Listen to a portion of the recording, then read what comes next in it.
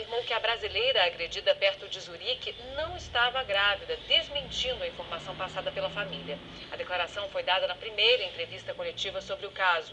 A correspondente da Rádio França Internacional, Letícia Constant, acompanhou a entrevista e tem outras informações ao vivo. Boa tarde, Letícia. Boa tarde. Efetivamente, os exames médicos efetuados então pelo Instituto de Medicina Legal e pelo Hospital Universitário de Zurique confirmaram que Paulo Oliveira, no momento dos fatos, não estava grávida.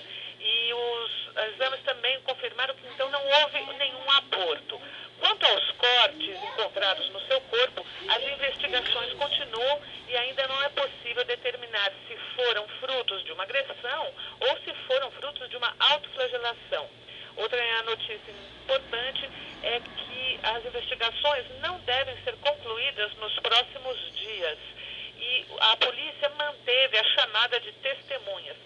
Não sei se vocês estão a par, três homens foram interrogados e liberados.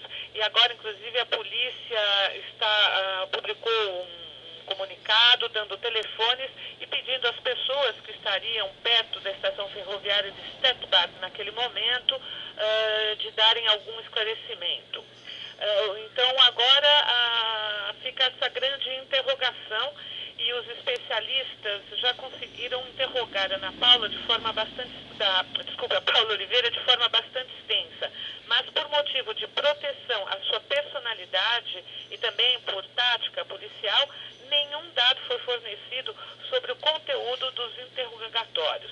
Então, o que nós podemos realmente deter de totalmente novo e totalmente surpreendente nesse caso é que ela não estava grávida. Então, agora vamos ver, as investigações devem continuar e as apurações sobre os cortes na sua pele ainda não foram concluídas, ainda devem demorar alguns dias. Então agora vamos ver o, a continuação desse caso que agora já está em